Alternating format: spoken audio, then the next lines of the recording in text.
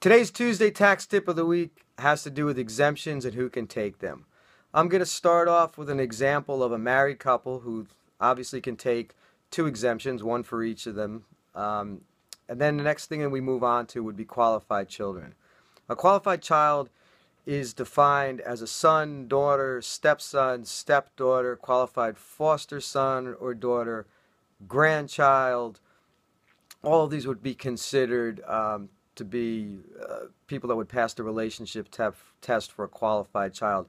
And uh, incidentally, an adopted child counts the same as, as, a, as a blood relative. Um, second test that they have to pass is the age test.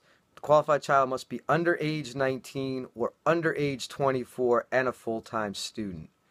The third test would be the residencies test. Uh, the child must have its principal place of residence with the parents um, and if they're away at college, um, the principal residence would not change. Uh, fourth test is that the parents must provide more than 50% of the support. And the fifth test is that the child cannot file a joint return, um, must obviously file a single return. Uh, now, in a case of parents that are divorced, typically it's the custodial parent that would take the exemption. However, a non custodial parent can take the exemption if all the following occur. One, the parents have to be divorced or legally separated for the last six months of the year. Um, one or both of the parents must have provided 50% or more of the support. One or both of the parents must have had custody for more than half the year.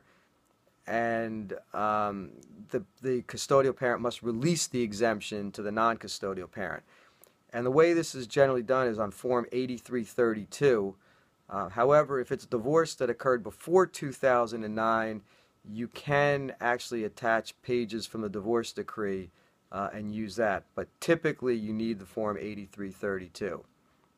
Now, there are also other exemptions for people that are not qualified children, either, eight, children that are over age 24, over age 19, and not full time students. Um, if they're a relative, uh, and pretty much almost any relative would qualify, they don't necessarily have to live with you. If they're a non family member, they must live in the principal residence with you. Um, whether they live with you um, or don't live with you, if in the case of relative that may not have to, the income test is they must earn less than $3,950. That was the 2014 amount. And and they must not provide more than 50% of their own support. So obviously the people taking the exemption must provide more than 50% of their support. Hopefully this helps you out, and I'll see you again next week.